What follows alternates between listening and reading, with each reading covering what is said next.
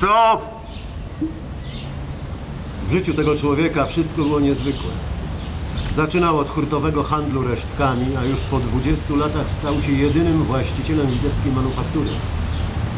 Jednej z najpotężniejszych fabryk w Europie.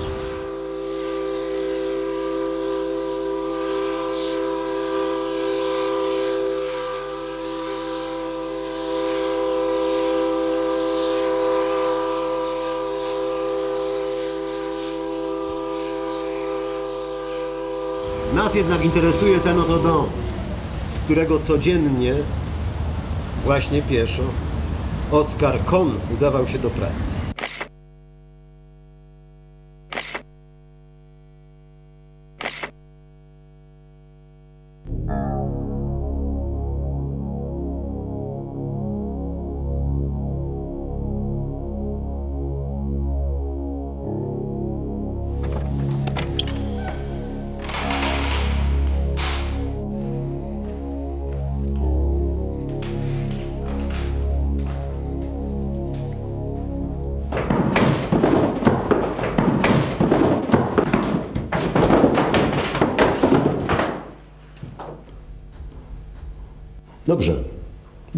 Dobrze. Powtórzmy to jednak. E, Niech to będzie zwyczajne ojcowskie popchnięcie. Taki zwykły upadek ze skręceniem nogi. Kaskader gra tu najstarszego syna fabrykanta. No, ukochany Henryk ośmielił się właśnie sprzeciwić ojcu w sprawach finansowych.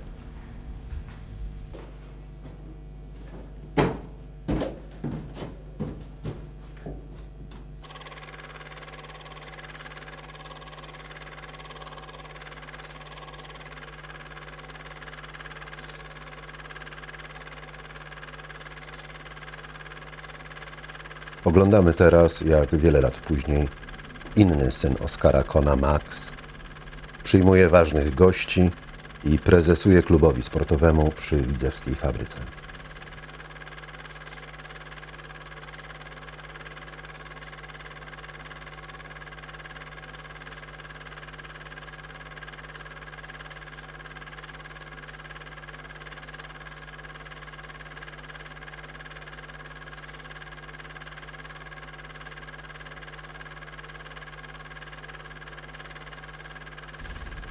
Natomiast najstarszą córkę wydał Oskar Kon za inżyniera Maurycego Bossaka. Uczynił go jednym z dyrektorów. Oczywiście nie mógł przewidzieć, że w niedalekiej przyszłości nazwisko Bossak będzie w tych murach znaczyło aż tak wiele i to z całkiem innego powodu.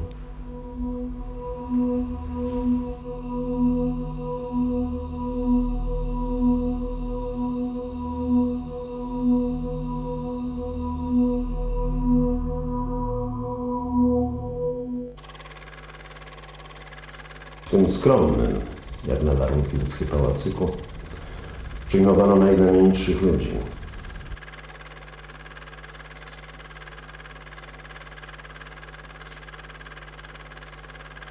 Oscar Kohn jest już w Radzie Brytyjskiego Banku, któremu prezesuje sam Winston Churchill. Na targowo w przededniu reformy walutowej kilkakrotnie przyjeżdża po radę premier Władysław Grabski.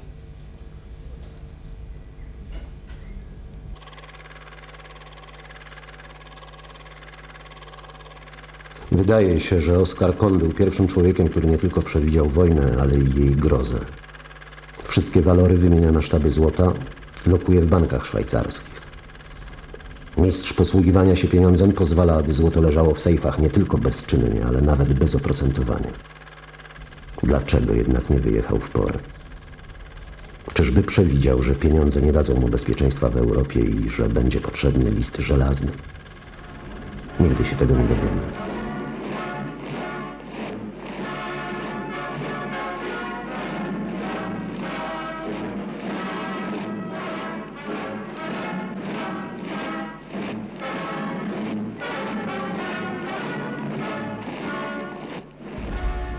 Legenda głosi, że hitlerowcy do czasu zagarnięcia złota i akcji widzewskiej manufaktury umieścili Kona w portierni pałacu.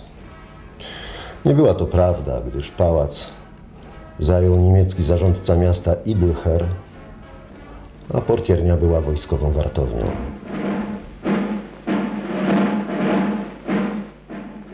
Najwięcej o losach Kona w tym czasie może powiedzieć pani Monika Miller, która podczas wojny służyła w pałacu. To fragment jej wspomnień. Mieszkał w małym drewnianym domku za oranżerią, do której jego żona sprowadzała przed wojną najbardziej egzotyczne gatunki ptaków. Każdego ranka, kiedy szłam do pałacu, widziałam, jak zamiata dziedziniec. Kłaniałam mu się, a on miło się do mnie uśmiechał. Pewnego razu patrzę, otaczają go rozbawieni żołnierze. Nożyczkami obcinają mu brodę i potem każą mu tą brodą myć jego własny samochód. Do dzisiaj nie mogę zapomnieć tej sceny i płaczę zawsze, kiedy tylko powraca mi przed oczy.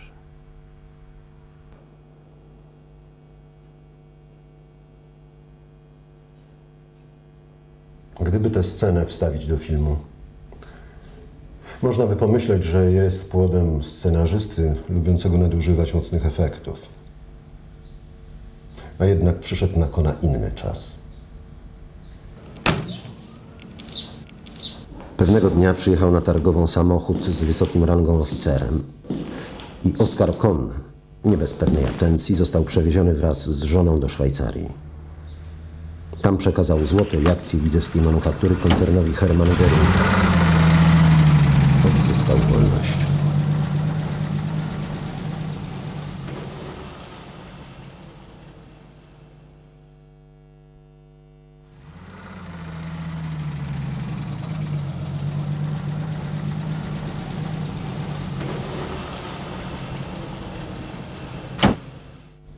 Żołnierze filmowcy przyjechali wojskowymi gazikami. Mieli rewolwery i zgodę na zajęcie pałacu. Zadania były nie tylko nowe, ale i ważne, bo przecież Lenin powołał w Moskwie pierwszą w świecie szkołę filmową. Nic więc dziwnego, że już w 1948 roku za biurkiem Oskara Kona zasiadł dyrektor Wyższej Szkoły Filmowej.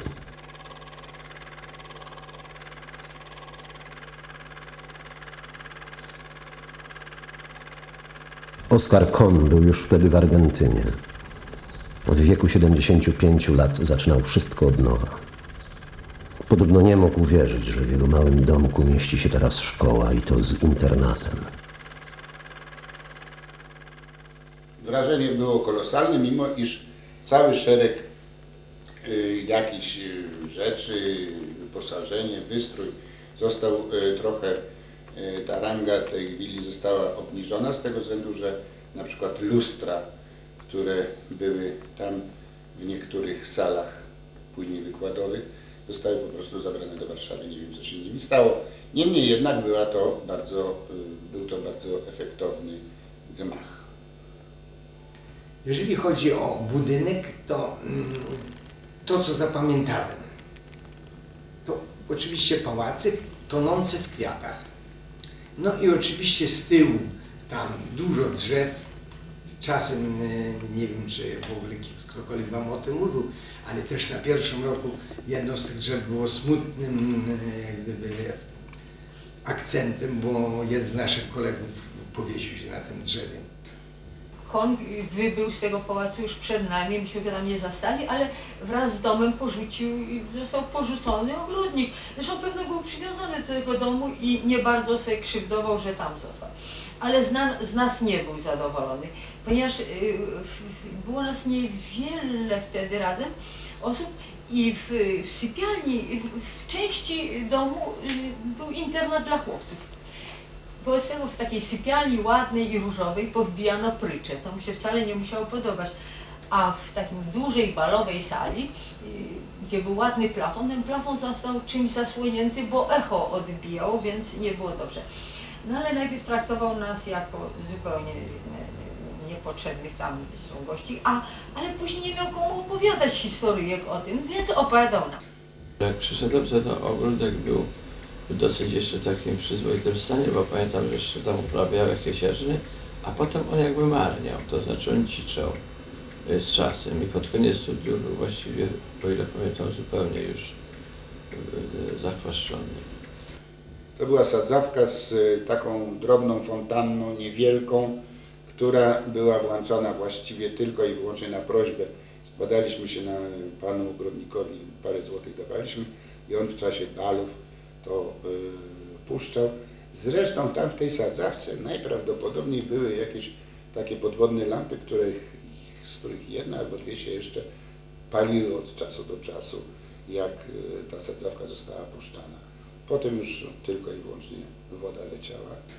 Jeżeli chodzi o, o wnętrze, to robiło wrażenie to, co zapamiętałem dobrze, to przy wszystkim wystrój wnętrz. Nie meble, mebli nie pamiętam. Zdaje się, że w pokoju rektora coś, tam mogło być ze starych mebli. Natomiast wystrój wnętrz, znaczy te piękne boazerie, te kasytony na suficie, to było na pewno jeszcze autentyczne. I to robiło wrażenie. Mebli to tam już nie było, jak myśmy. O, gabinet dyrektora, y, gabinet y, Jerzego Teplica zachował się taki, jak był. Y, Tam zostały jakieś ładne bardzo meble. Tak czułam, że te meble z góry zostały albo zabrane, albo gdzie indziej przeniesione. Ale ten gabinet ciągle jeszcze pachniał konem. Były takie ciężkie meble. Jeżeli tam wchodzili, to czuliśmy się bardzo uroczyście.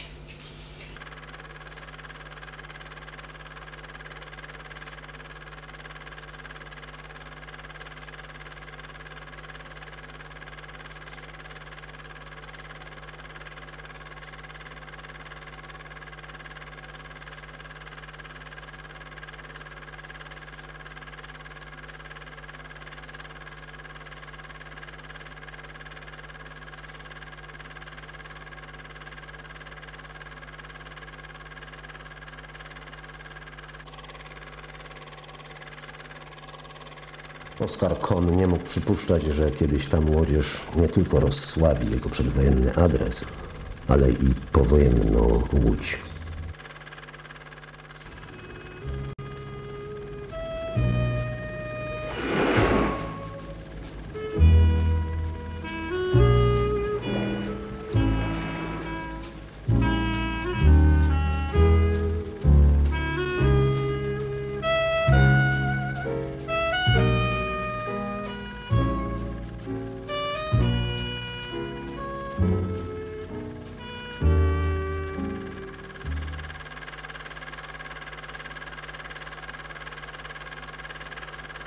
W Argentynie miał plantację bawełny i wspaniały zamek jednego z pierwszych zdobywców Nowego Świata. Wśród polskich marynarzy znany był z tego, że do śmierci płacił po 100 dolarów za każdą pocztówkę przedstawiającą łódzki widzew.